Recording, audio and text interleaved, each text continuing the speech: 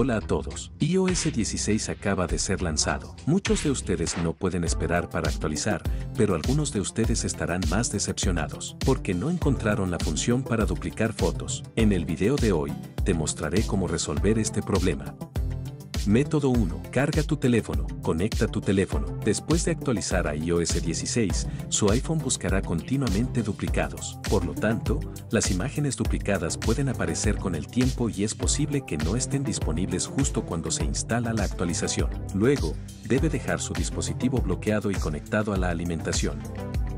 Luego, debe esperar un tiempo si tiene una gran cantidad de fotos. Le sugiero que puede hacer esto mientras está descansando o trabajando. A continuación, enciende tu iPhone y verás que tienes esta función. A continuación, puede optar por eliminar las fotos duplicadas. Simplemente seleccione lo que quiera eliminar. O combinar fotos.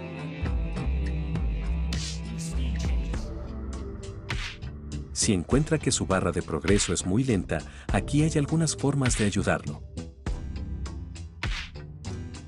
Método 2. Reiniciar configuración de la red. Quizás el estado de la red de su dispositivo celular esté dañado. Solo vea la configuración. General. Desplácese hacia abajo hasta el final. Toque transferir o restablecer iPhone. Reiniciar.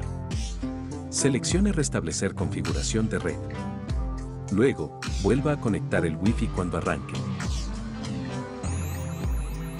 Método 3. Reiniciar el dispositivo. Si está usando un iPhone 8 y superior, presione el botón de encendido y el volumen hacia abajo al mismo tiempo. Luego deslice para apagar.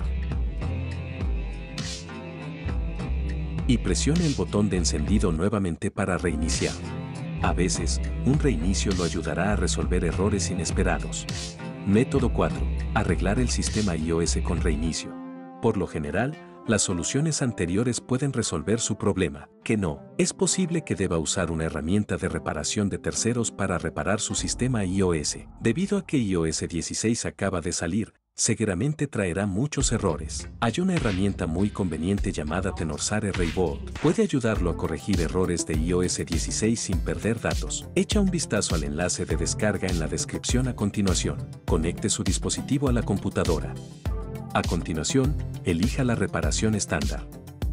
Raybot buscará automáticamente el firmware de iOS 16 y más. Todo el proceso no causará ninguna pérdida de datos.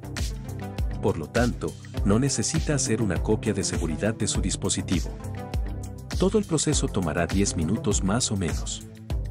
Solo espera pacientemente y mantén tu dispositivo conectado. Bien hecho, ha reparado con éxito su iPhone. Vamos a ver. Puede usar esta función normalmente para eliminar o fusionar sus fotos duplicadas. Bien, eso es todo por el video de hoy.